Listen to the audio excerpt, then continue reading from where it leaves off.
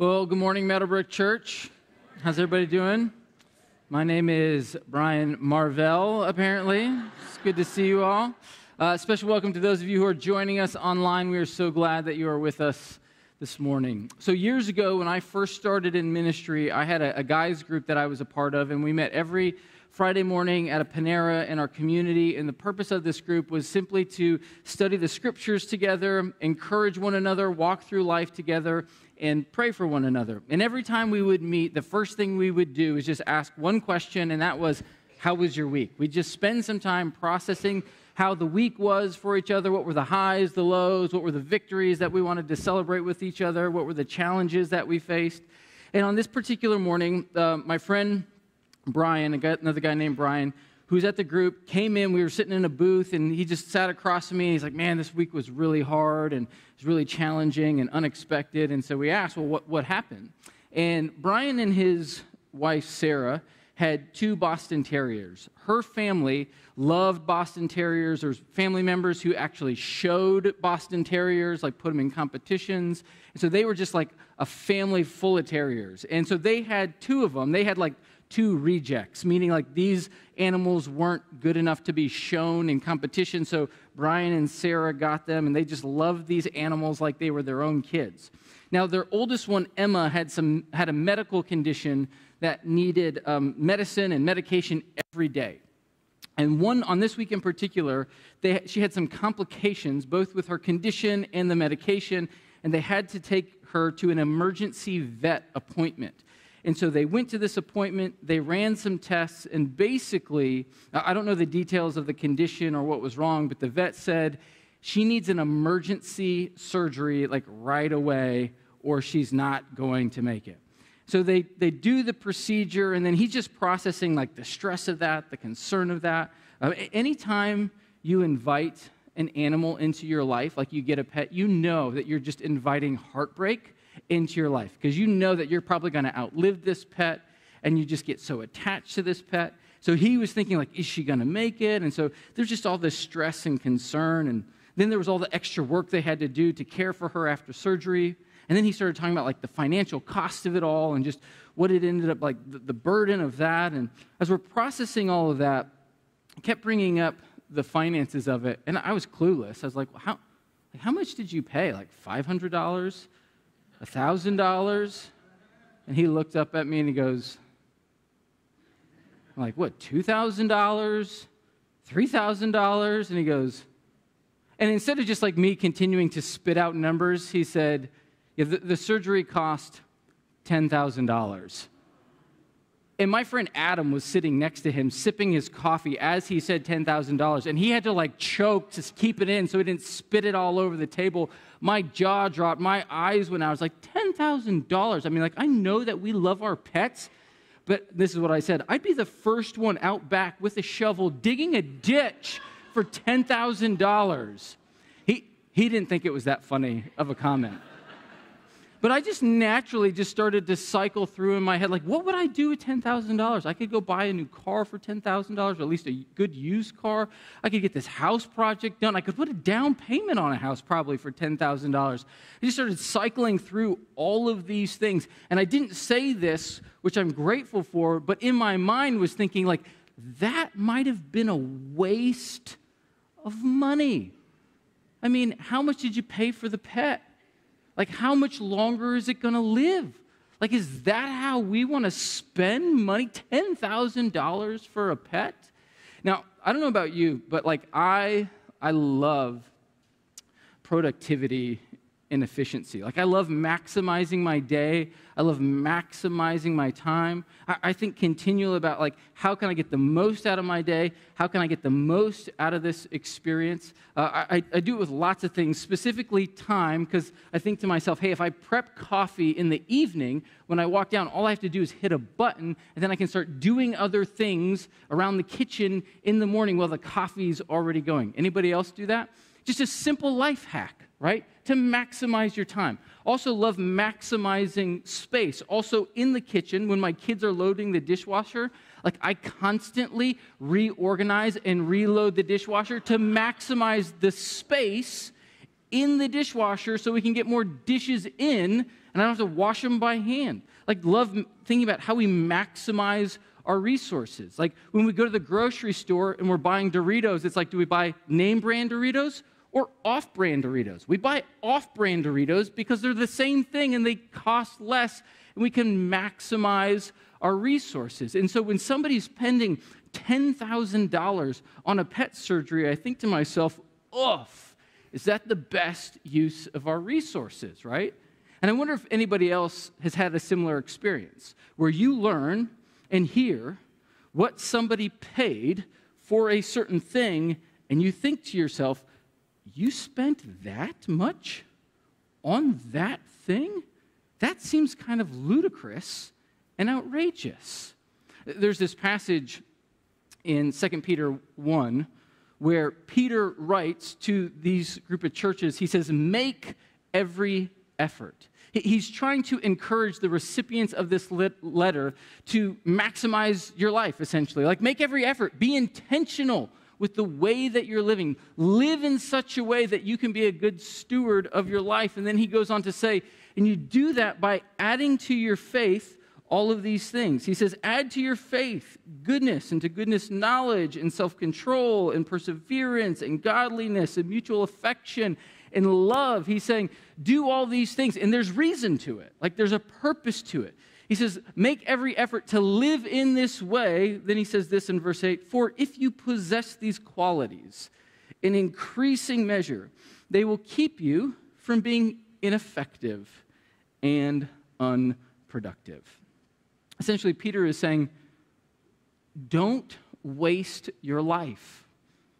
Don't waste the things that you have. Don't waste your time. Don't waste your abilities. Don't waste your skills and talents. Use them for the sake of the Lord and his kingdom to build his kingdom.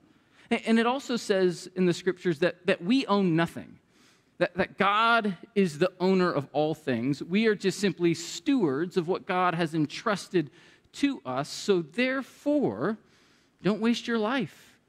Don't waste your resources. Do what you can to invest them well to help build God's kingdom. And so, with that, I, I value productivity and efficiency and good stewardship. And I'm sure many of us here the same.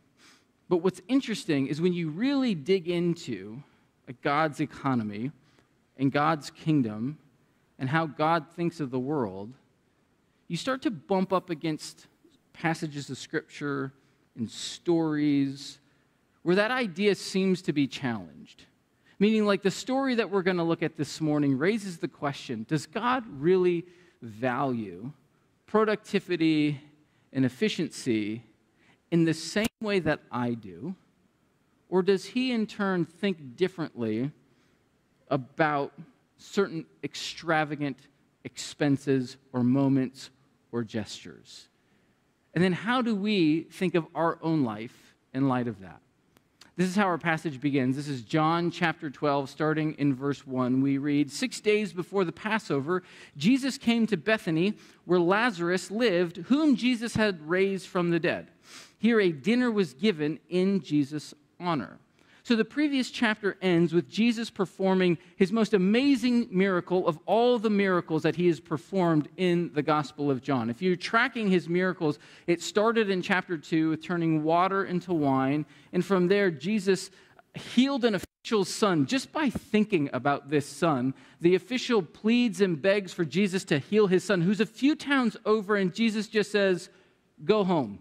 He's healed. He, he doesn't speak the healing. He doesn't do any sort of like dramatic gesture. He just says, Go home, your son is well. From there, he heals a paralytic who's sitting poolside, who's never used his legs, and he gets up for the first time and walks away from the pool. From there, he feeds over 5,000 people with two fish and five loaves of bread. Right after that, he walks on water through a storm to the disciples who are in the middle of a boat trying to get from one side of the Sea of Galilee to the other. And then in chapter 9, he heals a guy who's been born blind by spitting on the ground, making some mud, wiping it on this guy's eyes, and telling him to go wash out the mud. And then immediately he can see. All of Jesus' miracles up to this point have been mind bending in their own right. But then you come to chapter 11, and he takes this guy who has been dead for four days, whose body has been prepared for burial, probably anointed with oil, wrapped with spices. He's got grave clothes on him. He's in a tomb that's been sealed for four days.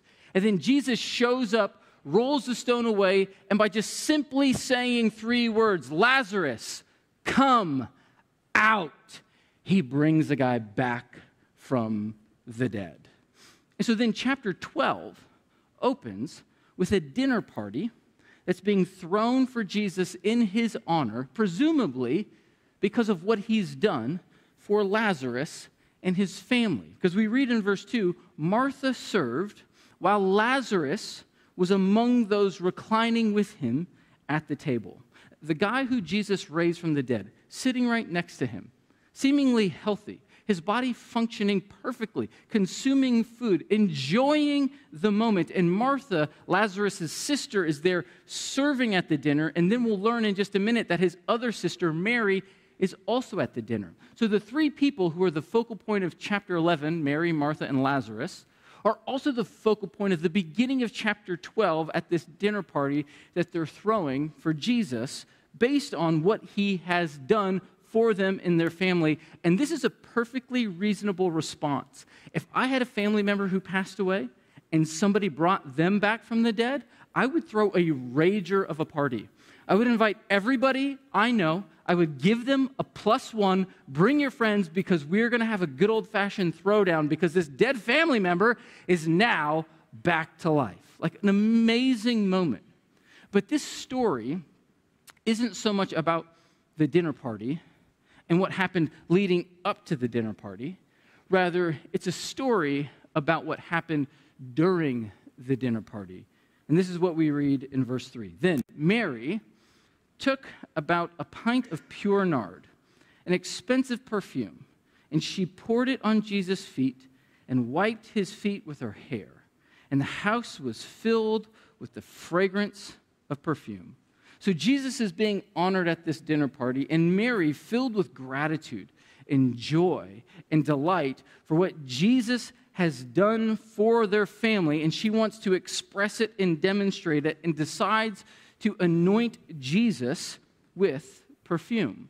Now, we don't see too much anointing these days in like most contemporary evangelical churches, but if you've ever seen somebody anoint another person with, say, oil, they usually have a small vial that they can hold in their pocket. They take it out, they take the top off, and they kind of clasp it between their thumb and their forefinger. And they'll maybe rock it back and forth to get a little oil on their finger, and they might just rub it across their forehead or make the sign of a cross to like indicate like we're asking for a special provision or we're just trying to acknowledge that God has done something unique in your life. So every once in a while, you might see an anointing of oil like that. That would have been pretty reasonable for Mary to do. It also would have been reasonable for her to like sprinkle some on Jesus, maybe get a little bit more than just a touch of it and sprinkle it on Jesus. But instead, what she does is it says she pours the perfume.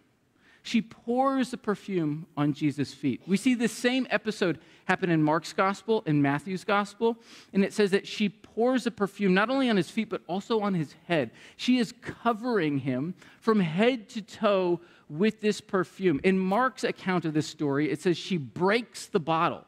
She breaks the bottle that the perfume is carried in, kind of signifying, I'm using it all. I'm holding nothing back. I'm giving all of this to Jesus. And it says that the fragrance fills the house. So in, in our house, we are raising um, young girls who are on the verge of being teenagers. They already are teenagers and then more becoming teenagers. And the smells that are happening in our house these days are all sorts of different things. You have any one of our daughters walk by you, and because of the, the body spray, the perfume, the lotion, the room spray, they walk by you, and you'll get a big whiff of Costa Rican pink pineapple sunbreeze, right? Or you'll get Thailand sweet kiwi starfruit mist, just whoosh, wash by you. Now, fortunately, many of these smells are good. They smell good, but you get this big whiff And then it just kind of like lingers there for a moment and then dissipates. But what we're told here is that this fragrance fills not just a room, but this fragrance fills the whole house.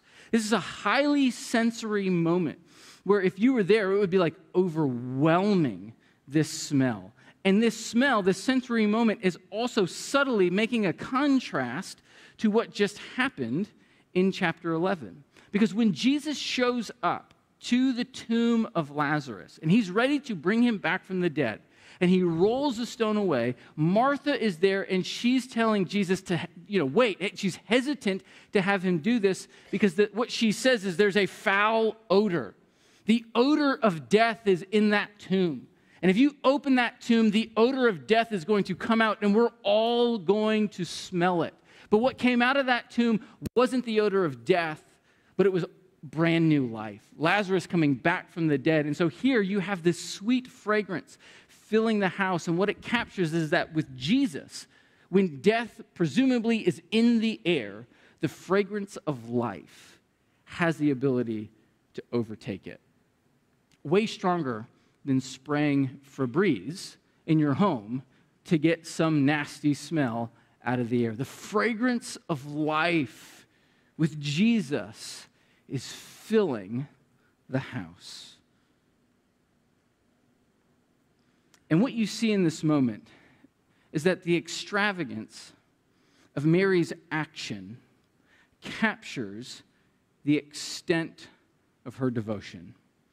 The extravagance of Mary's action captures the extent of her devotion.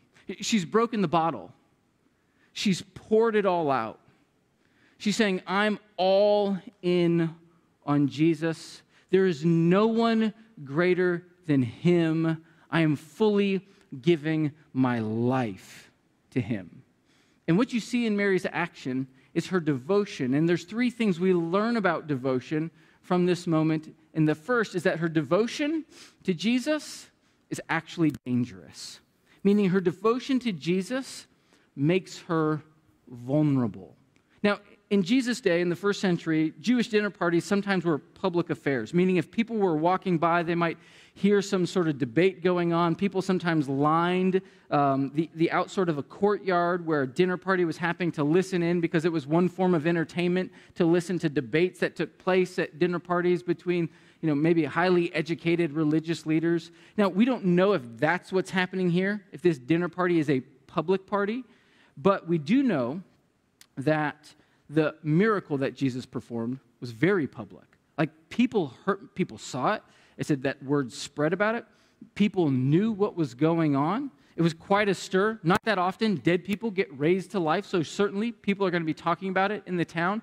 And where word eventually got back to was the religious leaders of Jesus' day. And we're told at the end of chapter 11, verse 53, that the religious leaders heard about Lazarus' resurrection, and it says that from that point on, they plotted to kill Jesus.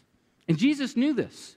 In verse 54 of chapter 11, we're told that Jesus withdraws with his disciples, didn't walk around publicly in Judea or Jerusalem anymore because he knew the religious leaders were out to get him, to put a hit on him, and so he was withdrawing. So the fact that Jesus is back in Bethany, which is really close to Jerusalem, is risky, and the fact that other people are demonstrating their allegiance to Jesus is also risky because we jump to the end of this passage verse 9, and we read this Meanwhile, a large crowd of Jews found out that Jesus was there and came, not only because of him, but also to see Lazarus, whom he had raised from the dead. Verse 10. So the chief priests made plans to kill Lazarus as well. Hey, we're already going to execute that guy, and this guy's associated with that guy, and people are drawn to that guy because of this guy. Let's just kill him too. And so the question then is raised well, if Mary is all in on Jesus, and Jesus and her brother is on the hit list, is she also going to be next? Her devotion to Jesus makes her vulnerable in this moment. Now, I'm going to guess many of us aren't going out in the community in fear of our lives because of our devotion to Jesus or we're following Jesus. Some people speculate maybe there will come a time in this country when we have to be mindful of what our safety is if we're associated with Jesus. But for the most part, most of us probably don't go to the grocery store thinking, like, is somebody going to get out and get me on this day? But devotion still always makes you vulnerable because devotion creates dependence. When you're devoted to something or someone, you're looking to that thing or that person in some way to help support your own well being. You're intertwining your life with theirs, and you're creating some measure of dependency on that person. And when you open your life to that person or that thing, dependence makes you vulnerable to disappointment. Like maybe their commitment won't match yours. Maybe there are circumstances that cause that person, that thing, to be removed from your life rather than enhance your life. It opens you up and creates a moment where you could be disappointed. Uh, last week, our family was in New Hampshire. I was speaking at a camp out that way, a camp I grew up going to. And we were getting ready for a chapel service one morning. And there was a guy in the back who was doing like the, the audio visual stuff. And he had a New York Giants or New York Jets hat on. And so we were talking about the Jets, and he found out I was from Wisconsin. So we're talking about the Packers and how Aaron Rodgers went from the Packers to the Jets. And he told me, man, when, when they traded Rodgers, like I was over the moon excited. The Jets are terrible and have been terrible. And he's like, this was going to be our year. All of New York was elated to get Aaron Rodgers. And then what happens? First game of last season, four plays in, he goes down with an Achilles tear and is out for the rest of the season.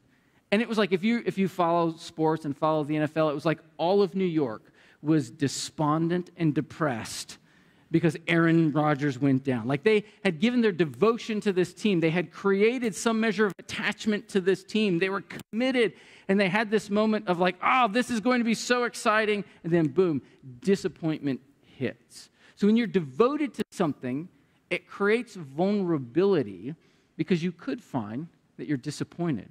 Now, with Jesus, sometimes that disappointment comes because we place expectations on Jesus that Jesus never promises to fulfill.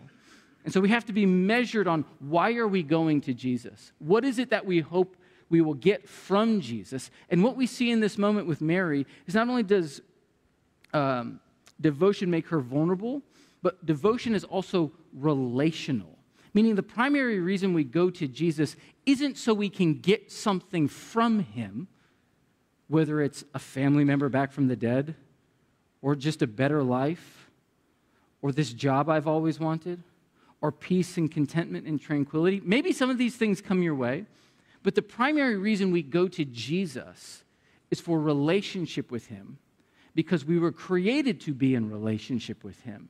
And the way we experience the fullness of life is through relationship with Jesus. And what we see in this moment is that Mary's relationship with Jesus is wildly intimate. This is an incredibly intimate moment. Mary is pouring this perfume all over Jesus' body, and she's down by his feet. Now, there's a really good chance his, his feet are clean, meaning he probably washed them as he came into the house. That was a custom, a common practice in their day. But still, like, if somebody were to like nuzzle up to your feet, like, or if you were to like nuzzle up to somebody else's feet, like that would be a little weird and a little awkward, right? Because feet are kind of like the, uh, we cover them up, like they kind of look gross. If you don't clean them all too often, you got like lint in between your toes, right? And so Mary's there in this intimate moment. Now, she's been by Jesus' feet before, Luke 10. She was sitting at his feet to learn. But this is a very different posture that she's taking. She's adorning him, she's honoring him. And then she pulls down her hair, which is kind of a, a a scandalous practice for women in the first century. But she's doing it with the specific purpose of wiping the perfume up from his feet with her hair, which means he's, she's putting her face right by Jesus' feet. And what you see is that Mary is giving all of herself to Jesus. Like she, she knows that she is pushing the social boundaries of what's appropriate for women in that time, but she doesn't care. She, she's running the risk of looking foolish. She's running the risk of looking ridiculous and doesn't at all care because she is all in on Jesus. Now, I don't know about you, but often I want my devotion to Jesus to appear reasonable. Meaning, like, hey, I've thought this through. Like, this isn't some like cuckoo sort of religious belief. This is grounded in history, it's grounded in reality. There's veracity in terms of Jesus was a true historical figure. The things that he did actually happened. Like, I want my faith and my devotion to Jesus to appear reasonable, like it's actually well thought through. I also want it to appear inspirational, meaning, hey, there is hope in Jesus, the strongest hope that you could ever have. And if you give your life to Him, it too can be an inspiration and a hope for you. Those are things that, that, that I, um, that's a way that I want my faith to appear to other people. But Mary isn't concerned with those things in this moment. She doesn't care if people think she looks ridiculous. She doesn't care if people think she looks foolish. Because she's saying, I'm all in on Jesus, not just because of what he has done for our family, but because of who he is. He's a true King of Kings, He's the true Lord of Lords. He's the one who threw the stars in the sky and holds the moon up by his powerful word. He holds all things together. He is the one our hearts long for. And she's adorning him just for who he is. And so you find that her devotion is vulnerable, her devotion is relational, and it's also sacrificial. Because then we see this after she pours out all this perfume, we start to then see the reaction of the disciples and the other individuals who are in the room in this moment. And what we read is this in verse 4 But one of his disciples, Judas Iscariot, who was later to betray him, objected. Why wasn't this perfume sold and the money given to the poor? It was worth a year's wages. I mean, let that sink in, right? what kind of bottle of perfume does anybody have that is worth a whole year's wages? It, thought, it was thought that this perfume, they say it's pure nard, came from India. And so the extensive um, travel that it would have taken to bring that to Jerusalem made the cost go up. How it was made was really time consuming, also makes the cost grow up. Why Mary has this expensive perfume, we're not told, but it could be sold and could provide for her family for a year. Now, Judas here is trying to look noble. Oh, we could give this money to the poor, right? But then we read in verse 6 that he did not say this because he cared about the poor, but because he was a thief as a keeper of the money bag, and he used it to help himself to what was put in it. So, meaning Judas is looking at this moment and he's looking at this gift and he's thinking about it in terms of himself like how he could have taken advantage, how he could have benefited. And sometimes we think, yeah, that's Judas just being Judas. But when we look at Mark's account of this story and we look at Matthew's account of this story, we see that Judas isn't the only one who thinks this. We're told in both Mark and Matthew's account of this story that the rest of the disciples kind of had a similar idea and a similar perception and it says in Matthew 26 that the disciples were indignant and actually vocalized why this waste. They're, uh, they're perceiving Mary's devotion as a waste, a waste of resources, a waste of what could have been done, a waste of how they could have either benefited themselves or helped other people because this perfume was worth a whole year's income. That's incredible. And I think sometimes when we look at the way that other people make decisions about life, whether they spend $10,000 on a dog surgery or they invest money here or are generous over there, it can cause similar reactions in ourselves where we think like why are we wasting all this stuff but what we see is that here mary's devotion is on full display. The extravagance of Mary's action captures the extent of her devotion.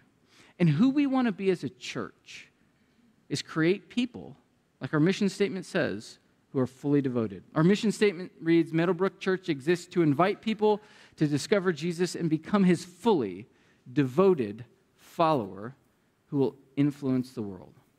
We desire for people to be fully devoted to who Jesus is, the way that he has ordered the world, and the way he's calling us to live in that world.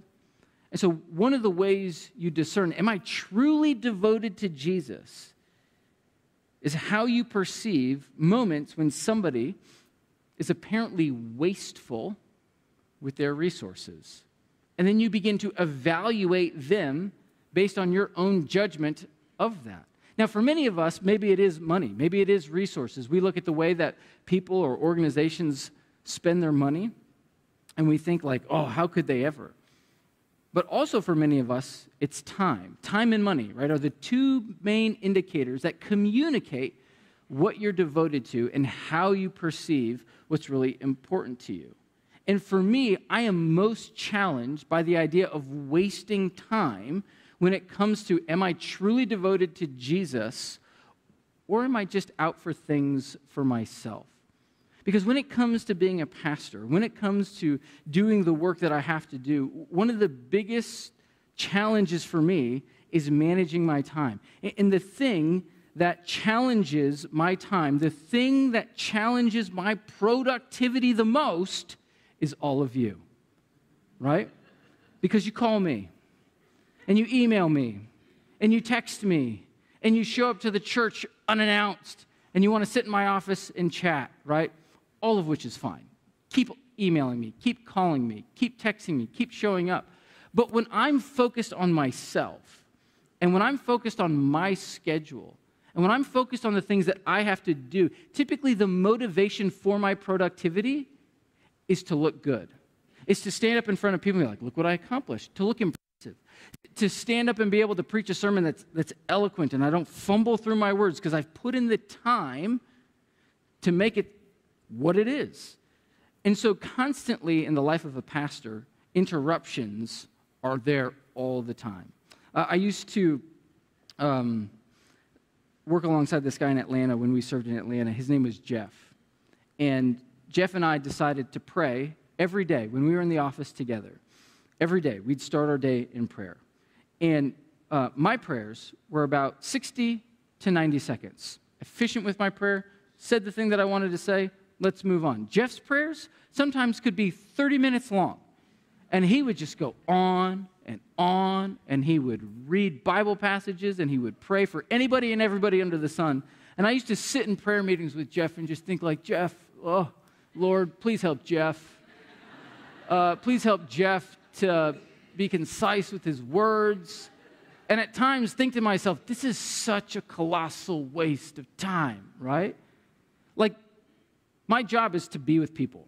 My job is to shepherd people. My job is to pray with people and pray for people, to be devoted to prayer. And sometimes these things that are my job appear to me as a waste of time because they're not moving things forward. Now, I don't actually think prayer is a waste of time, but when I'm focused on myself, it can get perceived that way.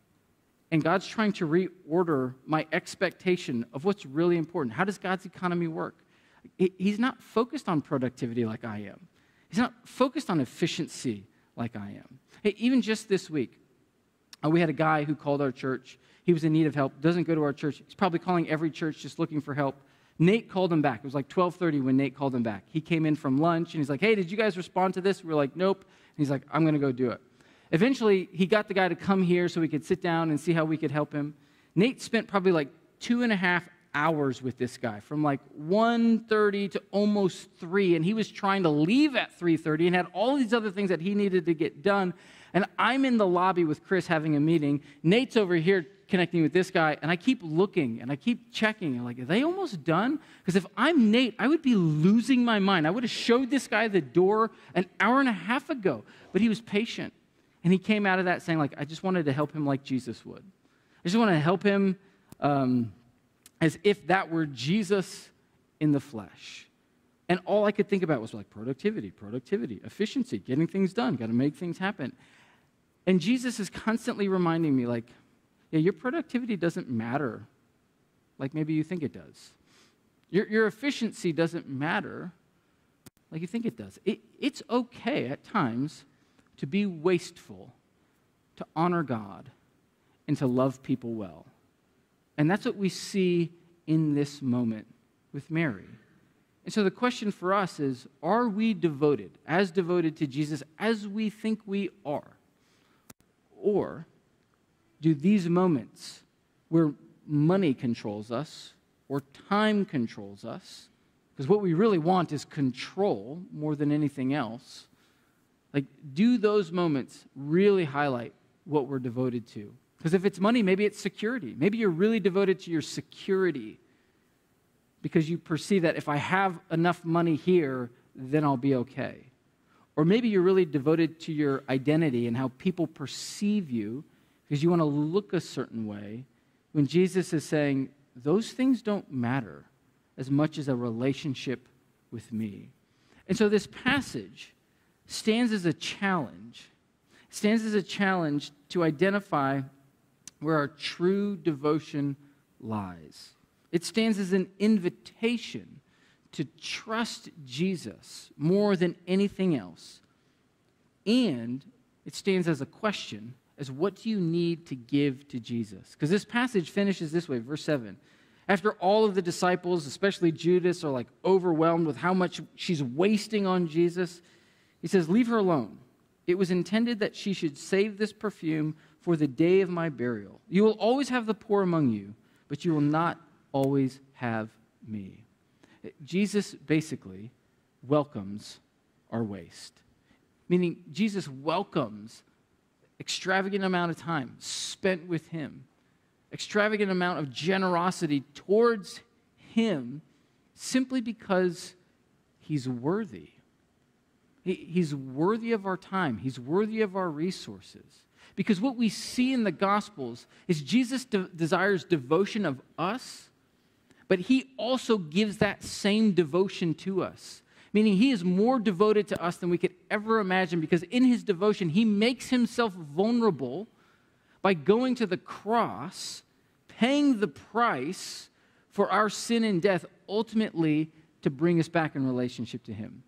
Jesus is motivated by the possibility and the potential of relationship with us to be with him at all costs.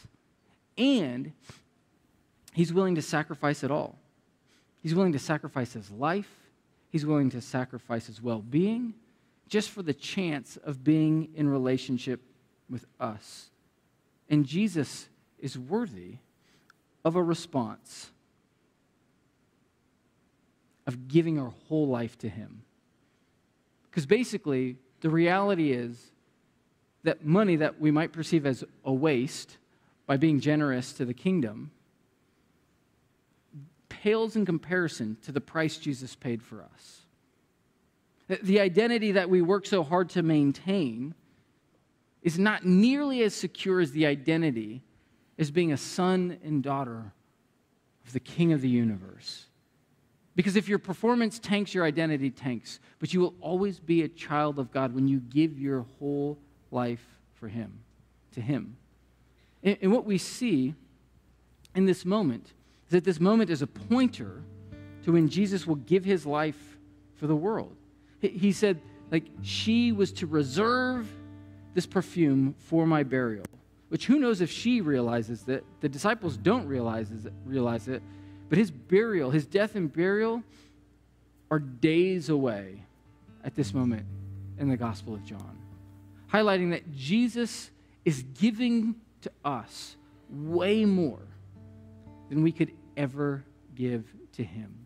And so, the way that we're going to respond to this message is by going before the Lord's table as a way to remind ourselves of how much God has given for us and ask the question what is He asking of me to give to Him?